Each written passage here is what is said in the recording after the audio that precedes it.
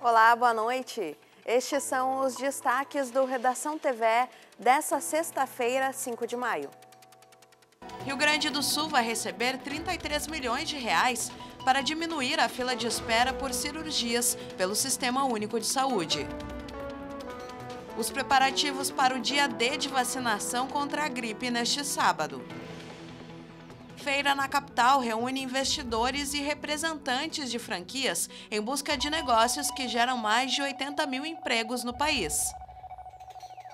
Resistência e falta de informação ainda são entraves para aumentar o número de doadores de órgãos no estado. E as atrações da agenda cultural para o final de semana.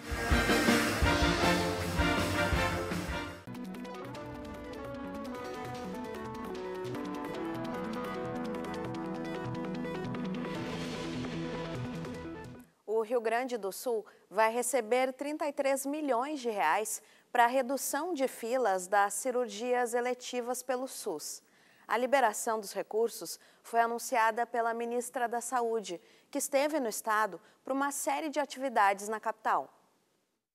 Nas agendas que iniciaram na quinta-feira à noite no Palácio Piratini, a ministra da Saúde, Nízia Trindade Lima, recebeu várias demandas. Do governador do estado, o pedido de recomposição do teto financeiro de média e alta complexidade do SUS, que permitiria a habilitação de novos serviços e hospitais. Na recomposição do teto MAC né, aqui do estado, para que nós possamos fazer a habilitação dos novos serviços junto ao Hospital de Santa Maria, ao Hospital de Guaíba, o Hospital de Caxias do Sul, que ficou pronto a obra na semana passada. Então é importante que a gente tenha aí a habilitação uh, desses hospitais para os recursos do teto da média da complexidade nos permitirem fazer essa abertura e expansão de serviços aqui no estado. Hoje pela manhã, as demandas foram da comunidade no Fórum das Periferias. O principal pedido foi pela volta de profissionais cubanos ao atendimento no programa Mais Médicos. A gente tem mães que trabalham, né, que às vezes não tem aquela, aquele tempo para poder conseguir chegar lá no posto de saúde, mas se tu tem uh, um número de médicos, tu diminui a fila de atendimento, né? E outra coisa também, os encaminhamentos para a questão de saúde, como exames, exames de imagem, exames de é, exames é, laboratoriais, trazendo esse, esses médicos, eles conseguem entrar dentro dos nossos territórios e dar aquela atenção especial que tem para a periferia, para aqueles que mais necessitam. Primeiro, a ministra reafirmou o anúncio da véspera de enfrentar o problema das filas por atendimento eletivo, ou seja, as cirurgias agendadas no SUS. Nós lançamos também um programa para redução das filas é, para as cirurgias eletivas, além de todos os problemas de saúde que vocês falaram né, aqui comentaram, é, a pandemia também teve um impacto muito forte na demora dos exames, dos diagnósticos. Vamos trabalhar juntos para também superar isso. O Ministério da Saúde já aportou, no caso do Rio Grande do Sul, o plano já foi aprovado, são 33 milhões destinados a esse programa, que vão se somar, claro, a outras iniciativas e também reforçou que o edital lançado em abril do programa Mais Médicos prevê 500 vagas para o Rio Grande do Sul. A ministra explicou que a prioridade são os médicos brasileiros, mas já há tratativas que permitiriam a volta de profissionais cubanos. Esse edital é dentro da lei do Mais Médicos, então a prioridade é para os médicos brasileiros formados no Brasil, é isso que está na lei do Mais Médicos mas eu rendo aqui minha homenagem aos médicos cubanos, que vocês têm toda a razão, né, que foram fundamentais e estamos discutindo a retomada de uma cooperação com Cuba em várias áreas. O ministro-chefe da Secretaria de Comunicação Social da Presidência da República acompanhou a ministra Nízia. À tarde, Paulo Pimenta participou do lançamento da Frente Parlamentar de Combate às Fake News na Assembleia Legislativa do Estado. Pimenta garantiu que o empenho do governo é pela aprovação do PL que tramita no Congresso Nacional. Quando nós aprovamos uma legislação no Brasil em 2014, tem um artigo que diz: as plataformas não têm nenhuma responsabilidade pelo conteúdo veiculado. E esse modelo foi implantado em todo o mundo e hoje, na grande maioria dos países, já foi revisto. Então não é possível que aquilo que é crime né, fora do mundo digital também não seja crime no mundo digital. Acredito que nós vamos avançar. Isso não tem nada a ver com censura, isso não tem nada a ver né, com violação da liberdade de expressão, mas uma regulação que proteja o país, que proteja as pessoas da impunidade dentro do mundo digital. E ainda falando de saúde, a Organização Mundial da Saúde declarou hoje que o surto do coronavírus deixou de ser uma emergência de saúde pública global, o mais alto nível de alerta da OMS.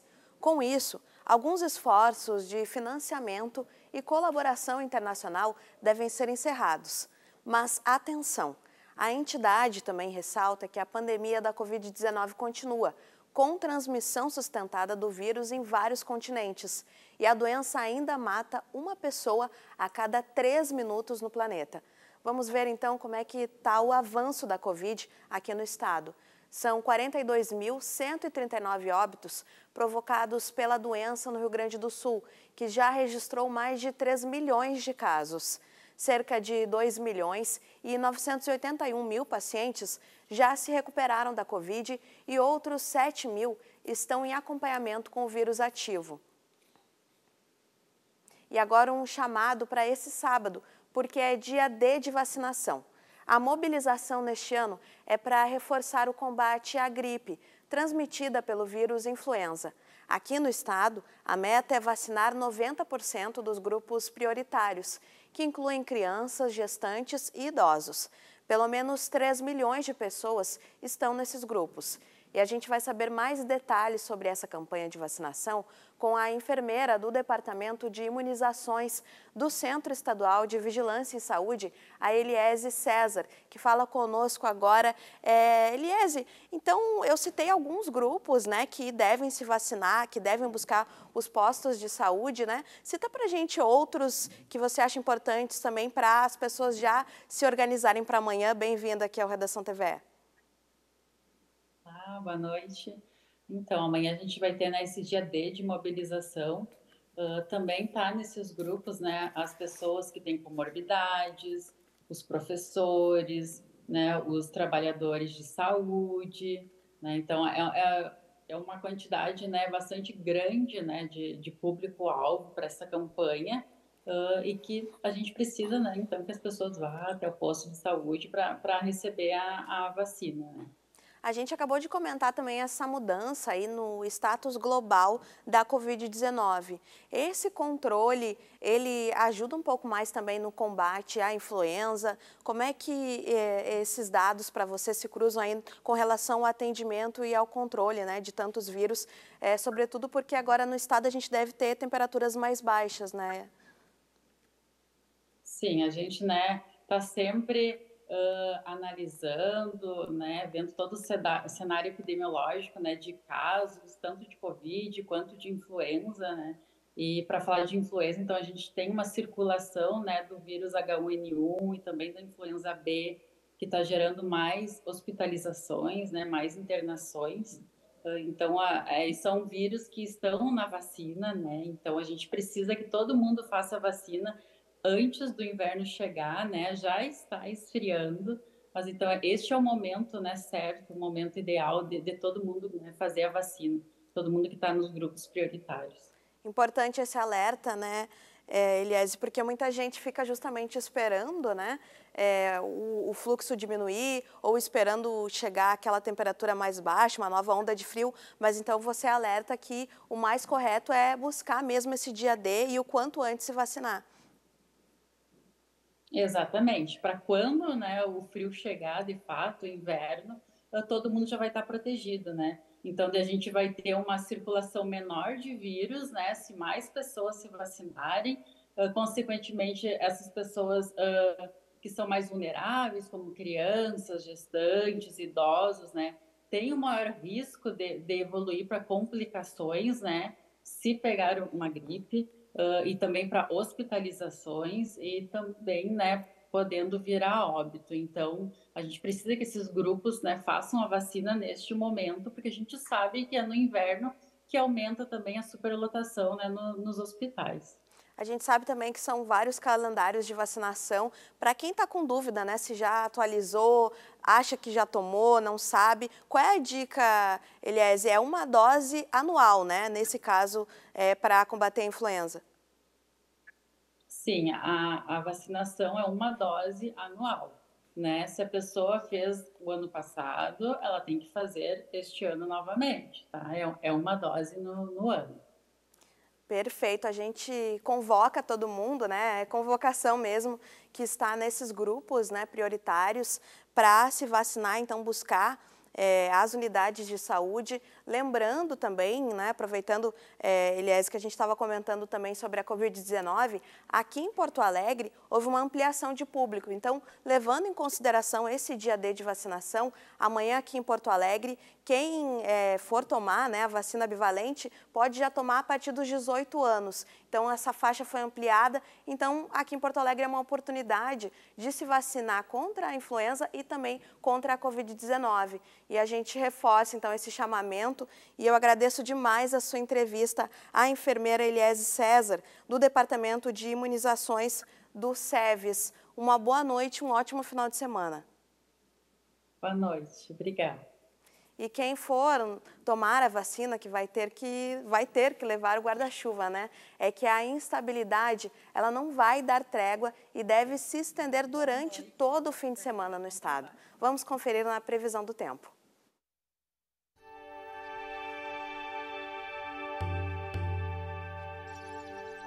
Pancadas de chuva podem ocorrer a qualquer momento em todas as áreas. O sábado e o domingo devem ter precipitações intensas, com poucos períodos de sol entre nuvens. A variação das temperaturas será maior do que a registrada nos últimos dias, mas o final de semana começa com clima ameno. Oscilação entre 19 e 24 graus em Porto Alegre, mínima de 15, máxima de 20 em Alegrete. Os termômetros vão dos 21 para os 27 graus em Osório.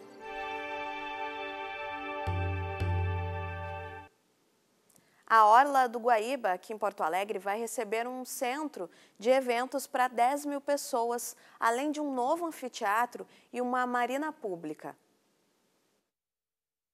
A Prefeitura da capital divulgou hoje detalhes do projeto escolhido para transformar o trecho 2 da Orla por meio de parceria público-privada. São 850 metros entre a rótula das Cuias e o Arroio Dilúvio, com um terreno de 134 mil metros quadrados. O projeto também prevê uma esplanada para até 30 mil pessoas no local, além de um farol com mirante, ciclovias, decks e áreas para eventos ao ar livre. O orçamento total é de aproximadamente 400 milhões de reais e a execução deve durar quatro anos. O projeto ainda vai passar por consulta pública e, posteriormente, será encaminhado ao Tribunal de Contas do Estado. Já a publicação da licitação, a assinatura de contrato com a concessionária e o início das obras devem ocorrer em 2024. Nós vamos agora a um breve intervalo. Na volta, nós vamos falar da dificuldade de encontrar doadores para transplantes de órgãos do Estado. E tem também as atrações da agenda cultural para este final de semana.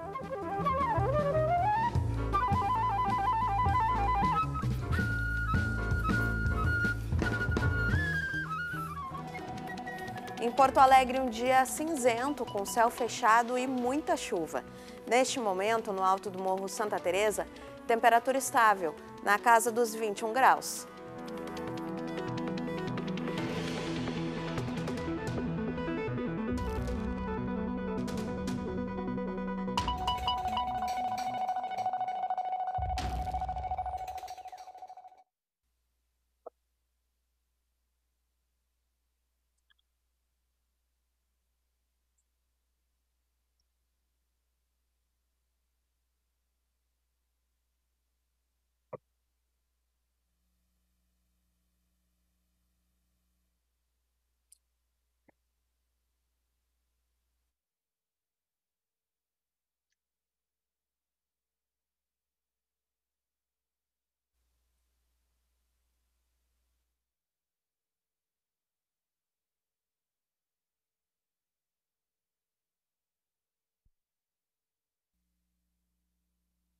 Me escuta?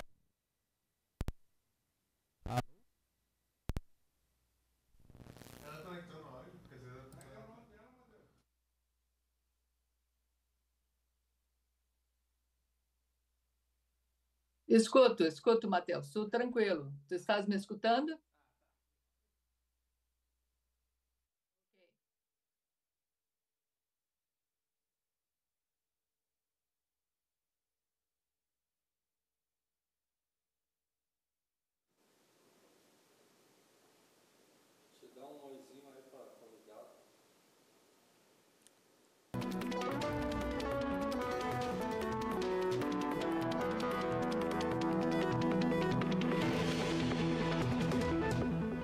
De volta com Redação TV para registrar que nesta semana a Central Estadual de Transplantes completou 26 anos de atividades.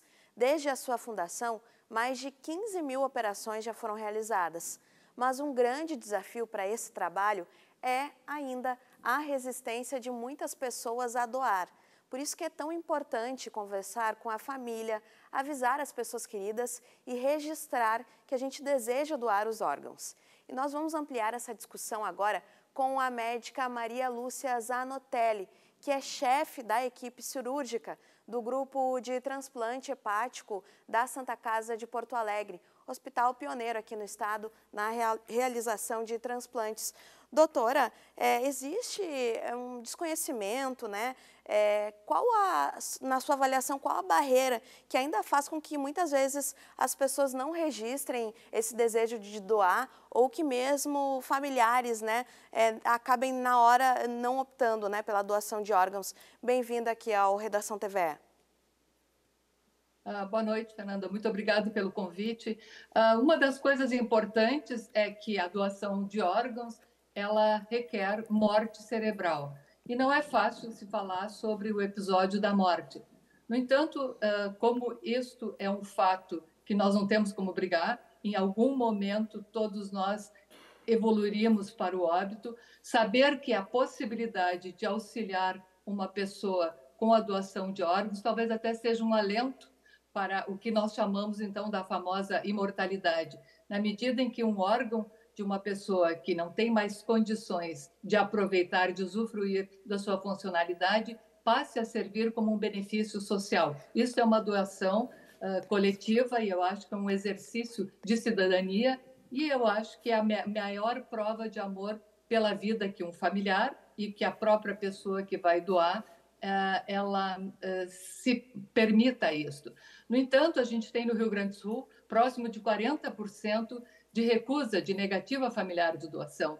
Me parece que é muito mais por uma falta de comunicação e de entendimento de coisas burocráticas e eventualmente até de tempo, porque há um sofrimento muito grande nesse período de uma expectativa de melhora de um familiar e quando se tem o diagnóstico da morte cerebral, a, a, a família já está num estresse, num cansaço e talvez num grau de sofrimento que ela quer a, uma rapidez em relação à, à resolução de coisas burocráticas, de velório, enterro, que fazem parte da nossa cultura. É um momento muito e tenso, para a doação né? de órgãos, exatamente, nós precisamos assim de avaliações que requerem um pouco de tempo.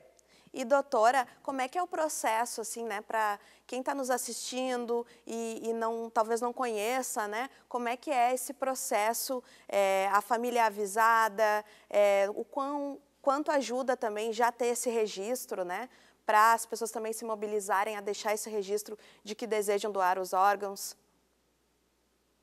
É, mesmo que tenha um registro, a família é que é responsável. Nós não temos uma doação compulsória no Brasil, então há que ter uma anuência, uma concordância uh, da família. Evidentemente que é um respeito em relação a, a, essa escolha quando da conversa ou até mesmo se a pessoa quiser deixar registrado se isso facilita, mas legalmente nós precisamos da, da autorização uh, da família para que se prossiga na, na questão da, da doação uh, de órgãos. O diagnóstico de morte cerebral é feito por uma equipe da terapia intensiva, uh, foram facilitadas as avaliações em relação a, a, a médicos que estejam capacitados, os exames também hoje são muito bem estabelecidos, sejam eles eh, exames de imagem e nós temos também avaliações laboratoriais em termos eh, de, de alguns eh, vírus e de algumas situações de compatibilidade eh, em relação a, alguns órgãos, como o rim, que precisam também ter um painel de compatibilidade. Enfim, são coisas muito bem estabelecidas e mais da ordem técnica, que talvez no momento não seja o mais importante de, de salientar, mas que eventualmente, se houver necessidade, a gente pode retomar este assunto.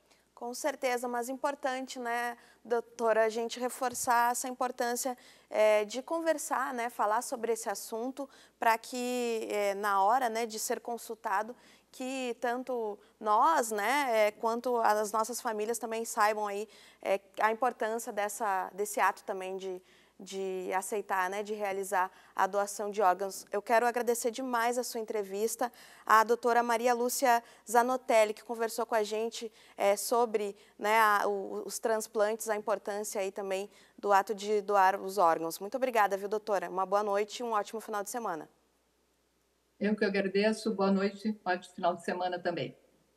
E começou hoje em Porto Alegre a Feira da Franquia, o evento segue até domingo e é uma oportunidade para quem deseja investir em um negócio próprio, mas que não quer começar do zero. A partir do apoio de marcas reconhecidas no mercado, o sistema de franquias é um segmento que deve crescer 10% em 2023. Da Serra Gaúcha para outros estados brasileiros. Esse é o mais novo objetivo dessa empresa de chocolates de gramado. Com seis lojas próprias, a forma escolhida para a expansão foi a franquia. A gente já tem certeza que é um meio mais rápido né, da empresa expandir. O nosso cliente tá, vai a Gramado, procura o chocolate nos estados que eles moram, né? Então aí a gente resolveu levar a chocolataria Gramado para todos os estados do Brasil. Né? A marca participa da feira de franquias que reúne cerca de 100 opções de negócios para interessados em empreender ou investir. Metade dos estandes são de empresas do Rio Grande do Sul, um mercado que está em expansão. 5,3% de franquias no Brasil são aqui do estado. Só que no Rio Grande do Sul gera 84 mil empregos diretos. É, então é um segmento super importante para a economia do estado e para o Brasil também. É, hoje é muito mais fácil você entrar como empreendedor ou como investidor através de franquias pela garantia que isso te dá, pelo suporte que as franqueadoras te dão. O Sebrae até mostra isso com número, parece que 70% dos negócios próprios quebram antes de cinco anos, porque é falta padrão, falta procedimento. E o sistema de franquia é exatamente entregar isso para o franqueado. Então, o sistema de logística está pronto, marketing, relação com o cliente, e faz você ter uma velocidade de crescimento e uma velocidade saudável de crescimento. E agora o esporte. A Liga Nacional de Futsal tem dois jogos com clubes gaúchos neste final de semana. Amanhã, sete da noite, o Atlântico defende a liderança da competição enfrentando o Jaraguá, em Santa Catarina. O time de Erechim tem 15 pontos depois de vencer seus cinco primeiros compromissos. Os catarinenses fazem uma campanha irregular até agora, com duas vitórias, duas derrotas e um empate. No domingo, tem Clássico Gaúcho em Venâncio Aires, com a Açoeva recebendo a invicta ACBF. O time de Carlos Barbosa ocupa o quarto lugar na tabela de classificação, a dois pontos do líder Atlântico. Já o time da casa não faz um bom campeonato. Perdeu os últimos três confrontos e está em 19 lugar, com apenas quatro pontos. A partida começa às duas da tarde, no ginásio do Parque do Chimarrão. O espetáculo de arte circense Cairós está hoje e amanhã, às 8 da noite, na Sala Álvaro Moreira. A diversão fica por conta de Zeca Padilha e Dominique Martins, no Centro Municipal de Cultura da capital. E o final de semana tem muitas atrações musicais. Confira a nossa agenda. Original, cantei tudo até o final. Ismália se apresenta no Bárbaro Cervejas Especiais nesta sexta-feira às 8 da noite. A compositora e cantora interpreta músicas próprias e sucessos do rock e do pop nacional. A entrada é gratuita. Nunca mais. Hoje o Classical Queen faz show tributo à banda inglesa, uma das melhores da história do rock. Há 18 anos eles se dedicam ao legado do grupo liderado por Fred Mercury. Os artistas buscam reproduzir com fidelidade os espetáculos do Queen. É logo mais às 9 da noite no Teatro do Bourbon Country.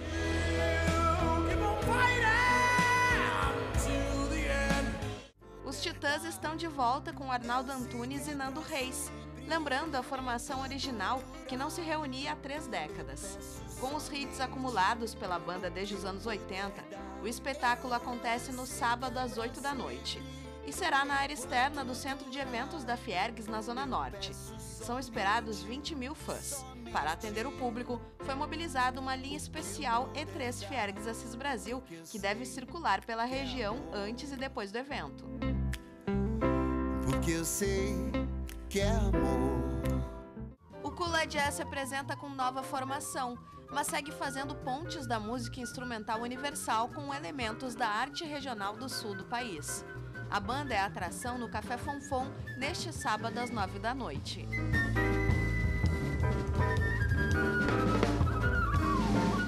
No domingo às sete da noite, a Orquestra de Câmara da Ubra tocará suítes no Clube Leopoldina Juvenil. No espetáculo, a interpretação de uma obra espanhola de Isaac Alberniz será acompanhada pela performance de dança da bailarina Daniele Zil. O ingresso é um quilo de alimento não perecível.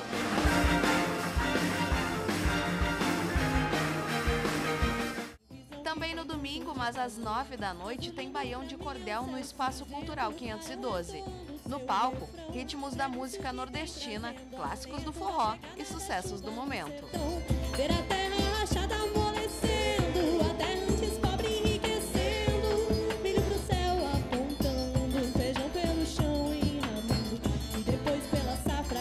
A gente encerra o Redação TV de hoje com a Orquestra de Câmara da Ubra, um trecho do espetáculo recheado de participações especiais.